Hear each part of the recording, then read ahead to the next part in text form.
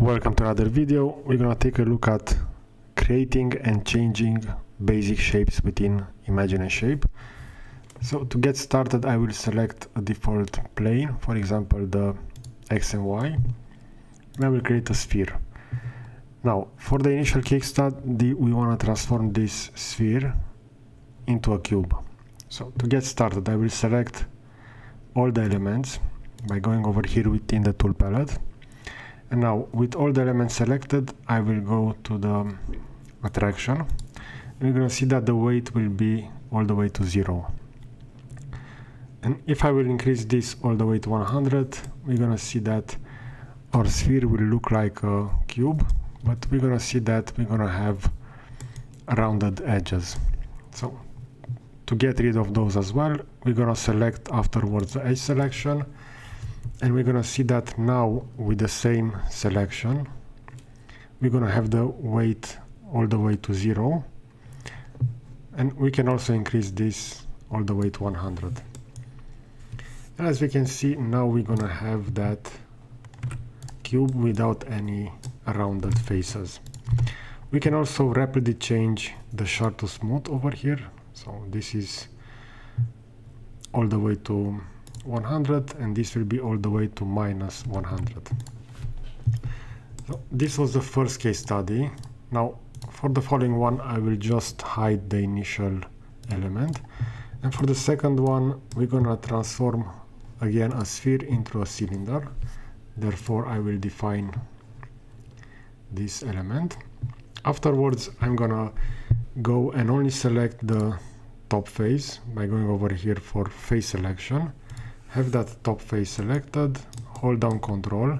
As we can see, control key will add elements to the selection. I will also select the bottom face, in this case this one. And now, since we are already on the attraction feature, we are just going to increase this all the way to 100. And as we can see, we're going to have that converted into a cylinder. If you want to make a tube, we can just erase the top face and the bottom face and we're gonna have this transform into a tube. We can also do some additional changes. For example, if you wanna make a different cube, we can go and define a new one.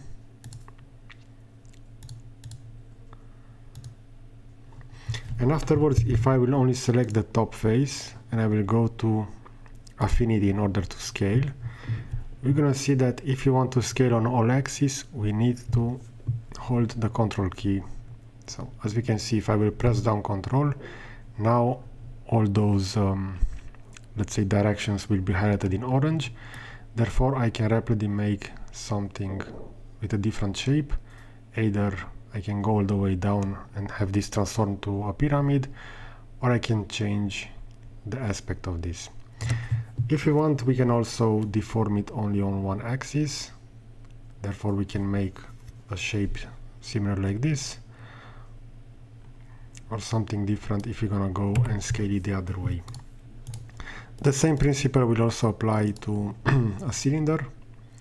So for example, if I will select that bottom uh, plane so that the orientation of the new cylinder will be vertical, we can do the same workflow if I will hold down control we can make this and have this transform into a cone. So keep that in mind that even though we only have a couple of primitives over here, we can rapidly obtain different ones. And there is also a case study regarding, um, let me see, for a torus. So we have the possibility to rapidly define a torus directly over here, which will look like this. As you can see this will have eight elements. So as we can see one two three and four and on the same side again four sections. Now we can obtain uh, a torus differently.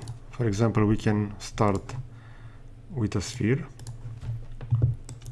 And with this sphere selected we need to go and have this subdivided therefore I will uh, use the face subdivision